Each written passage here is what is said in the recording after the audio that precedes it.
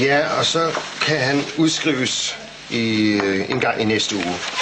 Er der nogle spørgsmål? Mm. Hvornår kommer han den nye tunnelslæge? Mm. Er det besluttet? Nej, ikke nu. Det da utroligt, så længe det tager, hva'? Ja, er det ikke utroligt? Ja. Hvad med det der ligestillingskursus? Ja, I vil snart få besked om dette livsvigtige emne. Uh, jo, der er en ting til forresten. Uh, der er en international kirurgkongres i København i slutningen af måneden, og Anders og jeg deltager. Hvem har bestemt det? Ja, budgettet tillader kun, at der er to personer, der tager afsted. Du har måske et andet forslag? Nå, men altså, jeg kunne for eksempel godt tænke mig at deltage. Ja, som sagt, der er kun to pladser. Altså, hvorfor er det lige pludselig en selvfølge, at det er dig og Anders, der tager afsted? Hvis du absolut vil afsted, så må du gøre det for egen regning og et par af dine fridage. Nej, det ved jeg ikke. Jeg vil da afsted på samme vilkår som jer. Ja, det snakker vi videre om senere. Nej, vi snakker ikke videre om det senere. Det vil jeg ikke finde mig i. Jeg har rent faktisk større anciennitet end Anders. Og jeg har en titel som overlæge, hvis du lige et øjeblik skulle have glemt det. Korrekt. Men alle her på stedet har ret til en videreuddannelse, og nu er det Anders' tur. Nå, er det sådan et nyt påfund fra din side? Ja, du kan kalde det, hvad du vil. Ja, jeg tror, at arbejdet kalder. Det var alt. Tak for i dag. Ja, tak for nu. Tak for nu. Hey, jeg er ikke tilfreds med dit svar, Jørgen. altså, hører du og gentage dig selv? Jeg vil gerne vide, om det her er nogle flere nye tiltag fra din side.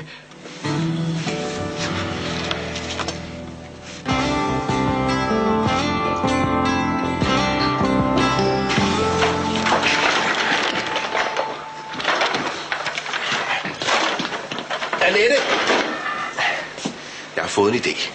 Hvad siger du til, at vi en fast aften om ugen serverer revsben, hva'? Du ved, spis hvad du kan. 48 kroner. Revsben? Ja. Hvis jeg skal være helt ærlig, så tror jeg ikke, Christine hun vil synes, det er sådan særlig hot. Lidt gammeldags måske. Christine mig her, Christine mig der. Hun tror efterhånden, hun bestemmer det hele. Mm. Det gør hun vel egentlig også lidt. Jeg ved, hvad folk vil have, ikke? En masse billig mad, det sælger lige så godt som en øl til 15 kroner. Mere kompliceret er det ikke her i Ebæk. Nej, det er du nok ret i. Men det forstår en københavnerfinkel jo ikke. Har du talt med Janni? Jeg har talt med hende, ja. Og? ja det er ikke så let. Vi, vi holder af hinanden. Det er derfor, du skal holde dig langt væk fra hende. Jeg prøver. Men jeg vil ikke sove hende. Sove hende? Niels, hvem tror du egentlig, der bliver mest såret? Janni eller Helle? For slet ikke at tale om Jesper. Synes du, jeg er en sur, dum kælling? Jeg er glad for, at du bekymrer dig. Undskyld, jeg siger det, Niels, men øhm, tror du helt ærligt ikke, det ville være bedre, hvis Janni hun fandt en fyr på sin egen alder? Janni er meget moden af sin alder. Nej, men det er klart. Det skal ikke ske igen. Det var en fejlsættelse. Jeg garanterer dig, Annette, det sker ikke igen.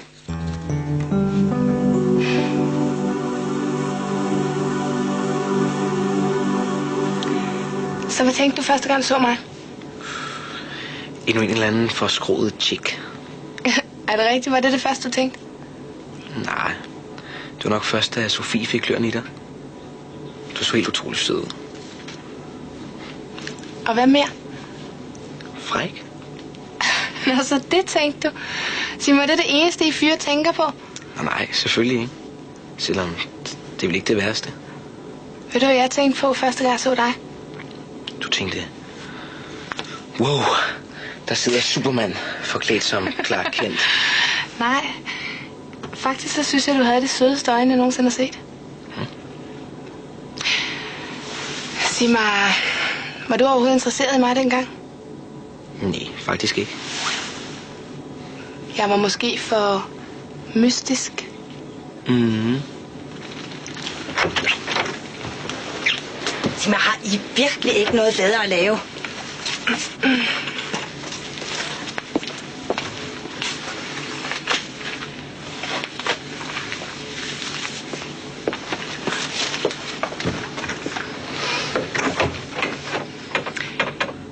Tænkte på, hvorfor, øhm, hvorfor kommer du ikke over og sover hos mig i nat? Så kunne vi vågne op ved siden af hinanden, og så kunne vi også... Hvad med din mor? Hun har det ligesom med at afbryde. Tror du, det er orden for hende? Hun kan godt lide dig. Det er helt okay med hende. Har du lyst? Ja, ja, selvfølgelig. Jeg skal bare lige tjekke derhjemme først. Det er garanteret okay. Okay. Ja, det er rigtigt, at du har været her længere end Anders. Ja. Men vi kan, vi kan ikke bare gå efter ancienitet. Nå. Men det holder slet ikke. Hvad kan vi så gå efter? Hm? Familierelationer. Nu har jeg brugt en halv time på det her pjat. Jeg har travlt. Og jeg accepterer simpelthen ikke din måde at prioritere på. En god kriger ved altid, når han er besejret. Vis dig, at du kan leve op til dit omdømme. Ja. Du skal nok komme med en anden gang.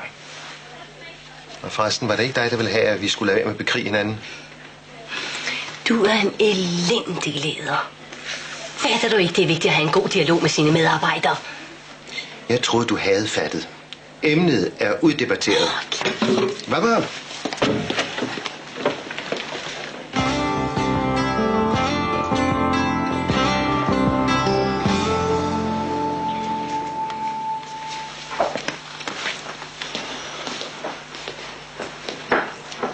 Hej Christine. Hej. Du har travlt som sædvanligt. Ja, det har jeg faktisk. Jo færre, der forstyrrer mig, jo bedre. Okay. Men jeg kom sådan set også bare for at høre, hvorfor du har aflyst koncerten. Mm. Jeg synes bare ikke, det var det rigtige tidspunkt at invitere så vigtig en person. Hvorfor ikke? Der er nogle ting, der skal ordnes først. Her på caféen. Hvad er det for ting? Oliver, jeg gider faktisk ikke at lege 20 spørgsmål til professoren. Det er nogle interne ting, som jeg ikke har lyst til at drøfte yderligere. Men kommer han senere, eller hvad har du tænkt dig? Vi ser. Forløbig venter vi og ser tiden lidt an. Venter? Men hvorfor? Jeg undskyld, jeg spørger, men jeg, jeg synes, det er... Jeg tror, du har brug for at øve dig lidt mere, før vi begynder på det her. Hvorfor har du ikke sagt det noget før? Jeg har overvejet det, okay? Det skal jo helst lyde professionelt, når man får besøg af folk fra pladebranchen. Ja, det er da klart, men du sagde Nej, det... Oliver. Jeg synes ikke, du er parat endnu. Jeg vil gerne se lidt mere af den ægte vare. Du har talent. Men der skal mere til.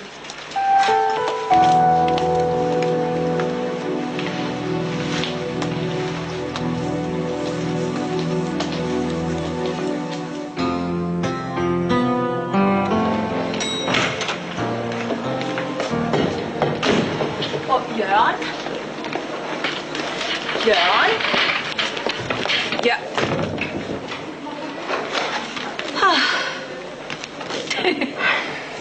Forsøger du at komme i kontakt med den administrerende overlæge? Ja, og det er ikke let. Enten er han optaget på kontoret, eller også er han på vej et andet sted, hvor han også er optaget. Ja, jeg troede kun, det var familien, han ignorerede. Nej, nej.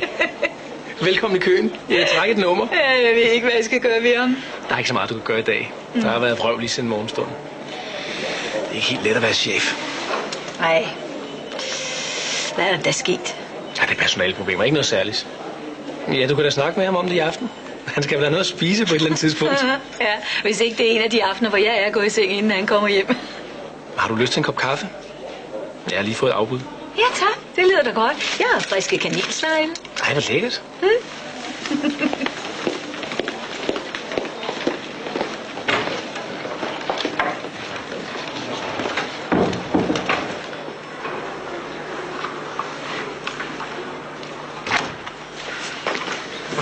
galt med hende? Først synes hun, min musik er helt fantastisk. Hej. Og så siger hun, hun nok skal hjælpe mig med at sælge mig. Jeg skulle bare overlade det hele til hende. Mm, Og hvad så nu? Ja, nu er hun iskold og opfører sig, som om hun aldrig har sagt det. Aftalen med produceren har hun aflyst. Fuldstændig ligesom koncerten. Shh, ikke så højt. Jeg troede bare, jeg endelig havde mødt en, der forstod, hvad det er, jeg går og laver. Hun lader til at kende alle i branchen. Og nu aner jeg ikke, om hun snyder mig, eller om det bare er... Ja.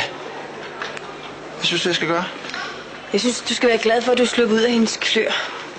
Lav dine egne indspilninger. Oliver, du er den eneste, du kan stole på. Tak, Anders. Ja. Ja, vi kirurger. Vi er en mærkelig race. Ja. Jamen, det vidste jeg godt, da jeg giftede mig med ham. Han har altid været utrolig ambitiøs. Men han har altså ikke altid været så hård. Ja, ja, det er sikkert svært for dig at forestille dig, men da han var i din alder, Anders, der, der var han faktisk meget romantisk.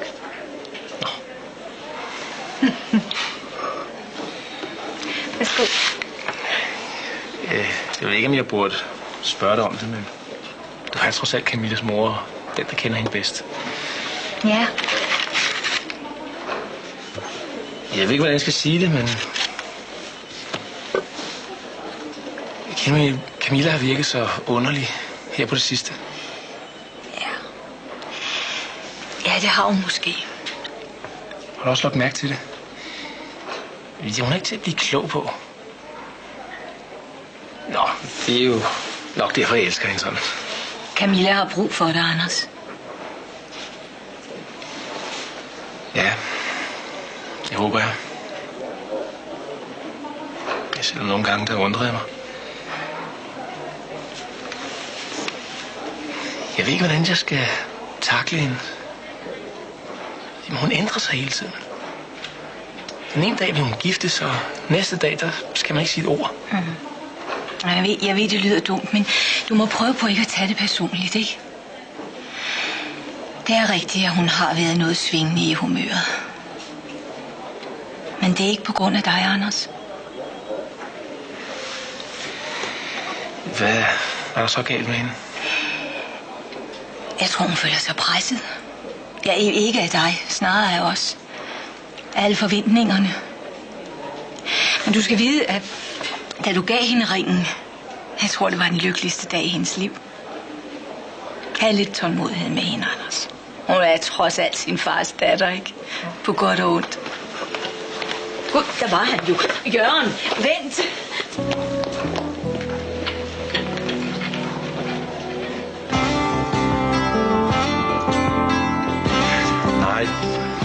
Sagt, at du skal ringe her. Nej, det går ikke. Ja, det går bare ikke. Hvad? Nej, jeg er blevet udskrevet, Elf. du kan få fat i mig her. Idiot. Ja, det er et stykke tid siden. Hvad? Åh, de dumme svin. Okay, jeg prøver at ordne det. Jeg prøver at ordne det. Men så er det kun en gang til.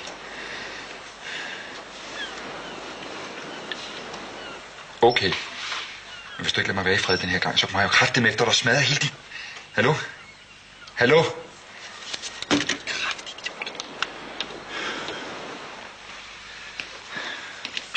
Problemer?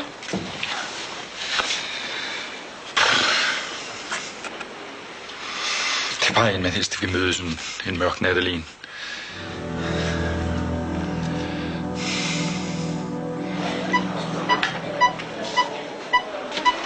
Hvad er der sket? Han er begyndt at hæve i øh, ansigtet, og, n- og nu kan han ikke få vejret. Har I givet ham adrenalin og sulikortef? Nej, nej, for det har vi ikke kunnet nå. Vi har ikke haft tid til det. Hvor meget skal vi give ham? Er det i orden, vi giver ham 0,5 milligram?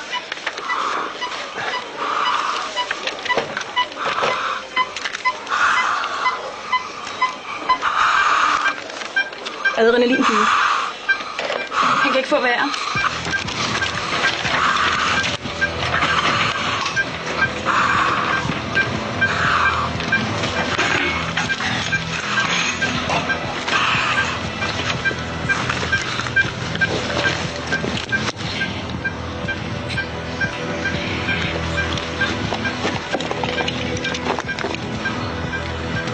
Jeg kan ikke se stemningen for bare hævelse.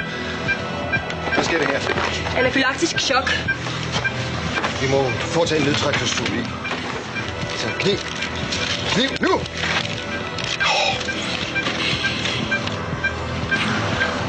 Tracheostomitube.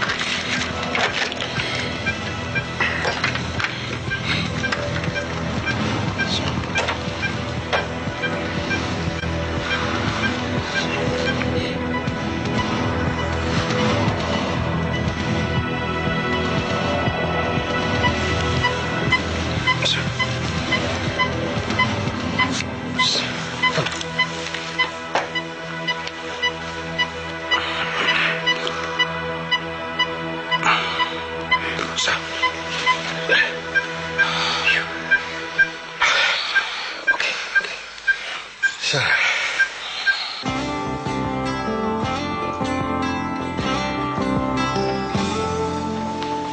Niels, vi bliver nødt til at snakke sammen. Ja. Selvfølgelig. Jeg ved ikke rigtig, hvad jeg skal sige. Nej, det er også svært. Åh, oh, ved du, hvad jeg vil ønske? Ja, vi kunne tage afsted sammen. Væk, sådan, så vi kunne snakke lidt sammen om det hele. Uden nogen, der afbrød os sådan helt for os selv. Ikke, Janne. Jeg ved godt, det ikke går. Jeg er simpelthen så træt af at gå rundt og føle mig som en stor stykke ulv. Altså. Nej, er det også. Kan vi så ikke finde ud af et eller andet? Tager vi ikke en weekend, eller en aften? En lørdag måske? Janne, nu må du ikke blive ked af det, det, det går simpelthen ikke. Men er der noget galt i at føle noget for hinanden? Jeg ved sgu ikke, hvad der er hverken rigtigt eller forkert længere.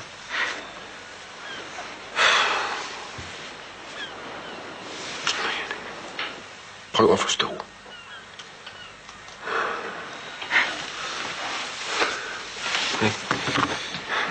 Janne, ikke.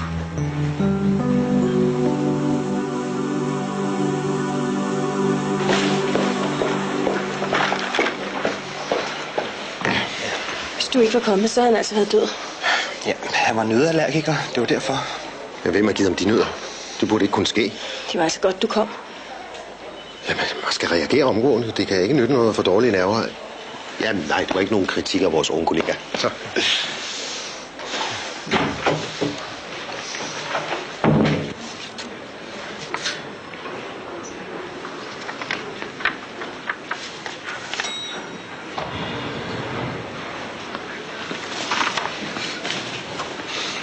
Hej. Hej Jesper. Hvad kan jeg hjælpe dig med? Hvad laver du? Vi sidder bare lige og læser en journal igennem, inden jeg skal op til en patient. Kan vi snakke videre i aften? Jeg har så frygteligt travlt nu. Ja, selvfølgelig. Mm-hmm. Jeg tænkte på, hvad tid skal du møde i morgen? Øh, Jeg tror, jeg har dagvagt. Hvorfor? Jeg vil bare spørge, om det er okay, hvis jeg sover hos Maria i aften. Hos Maria? Mm. Altså, du mener sove hos... øh, hele natten? Ja, det plejer man at gøre, når man sover hos hinanden. Jamen, jeg mener bare... at Det må du selvfølgelig selv om. Tak, mor. Godt. Du er den bedste. Ja. Hej, skat.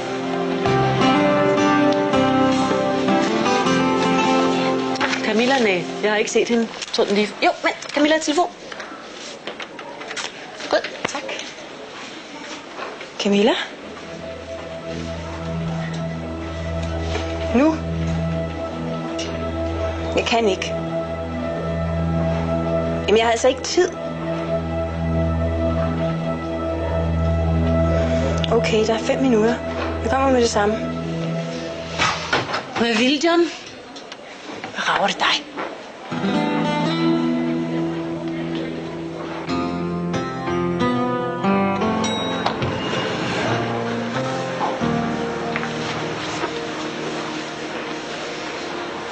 Hvad vil du? Hej, sæt dig. Hold kæft, hvor ser du godt ud. Hvordan har du det? Det har været en hård dag. Vi var lige ved at miste en patient. Og stakkels dig, og så kommer jeg her og plager dig. Jeg har det heller ikke så godt. Jeg, jeg har et problem, og du er den eneste, der kan løse det for mig. Du skal gøre mig en tjeneste. Synes du ikke, jeg har gjort dig tjenester nok? Det er jo ikke, fordi jeg ikke er taknemmelig, men det var ligesom din bror, der skaffede mig det job. Du har ikke rigtig ydet noget. Endnu. Prøver du på at skræmme mig? Skræmme? Jeg skræmmer dig vel ikke, Camilla? Er jeg så grusom? Hvad er det, du vil have mig til? Du skal gå et lille ærne for mig. Derhen. Jeg har brug for noget amfetamin. Amfetamin, det fås kun på recept. Og for øvrigt, så er der ikke noget på apoteket lige nu. Men så... Rygknugler. Og så lader du mig være i fred.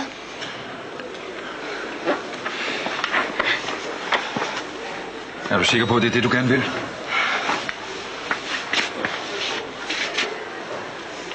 Du ved jo, at jeg er den eneste, der gøre dig lykkelig igen.